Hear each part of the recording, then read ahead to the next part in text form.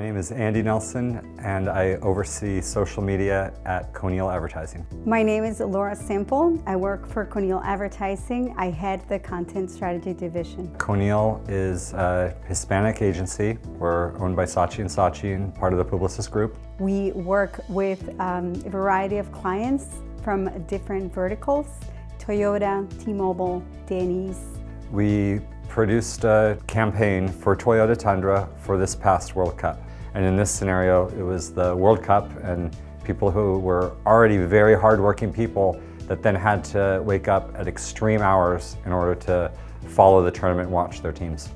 As we were not official sponsors of the event, we turned to social listening from day one to mine for insights that could lead us down a path that would still be really meaningful for Toyota fans and for Tundra intenders and for soccer fans in this cultural moment. One of the things that um, we really liked from the World Cup experience was working very closely with NetBase in determining what our share of voice was for in language and also uh, overall US sentiment of our Hispanics who not only uh, communicated in Spanish, but also in English. One of our favorite things about NetBase is flexibility and partnership.